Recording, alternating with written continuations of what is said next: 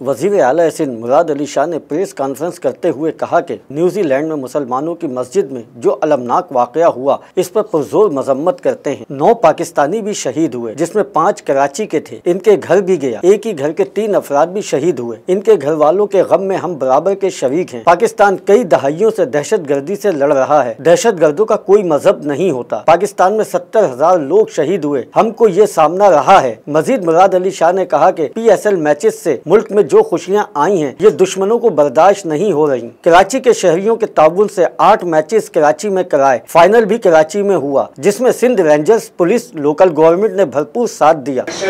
کے plate form کے through آپ اپنے ریکروٹمنٹ یا جو ٹیلنٹ ہنٹ پروگرامس پورے سندھ میں کریں اور انشاءاللہ تعالیٰ، نہ صرف جیسے میں نے کہا، یہ تو کرکٹ کی بات ہے۔ ہاکی میں بھی ہم نے انٹرنیشنل لیول کیسٹو ٹرف بنائے اور پاکستان اپنی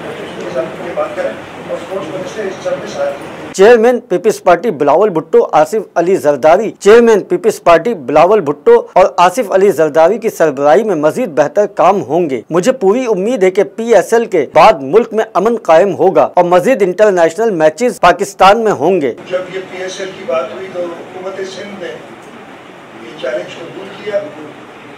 اور پہلے پانچ میچز کرائے جانے تھے، اس کے بعد آٹھ میچز کی بات کی تھی، سب آپ کرائیں ہم نے کہا جی بالکل۔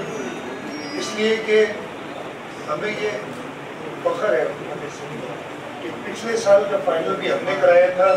کچھ لوگوں کو پسند نہیں آیا تھا ایک سوال کے جواب میں مراد علی شاہ نے کہا کہ نیشنل ایکشن پلان کو ترجیح دینا ہوگی۔ کچھ لوگ نہیں چاہتے تھے کہ P S L match Karachi میں ہوں، مگر انہوں نے دیکھ لیا کہ امن مسکراہٹیں لوٹ آئیں۔ کون جیتا ہے، کون ہارا ہے، یہ بات نہیں۔ پاکستان جیتا ہے اور سندھ کراچی کی عوام اور آرگنائزر کا بے حد شکر گزار ہوں۔ اب سندھ کا اور پاکستان کا امن، اب سندھ اور پاکستان کا امن پیغام دنیا میں جا رہا ہے۔ کیمرامین عامر شمس کے ساتھ آصف شرمیلا بقا نیوز کراچی۔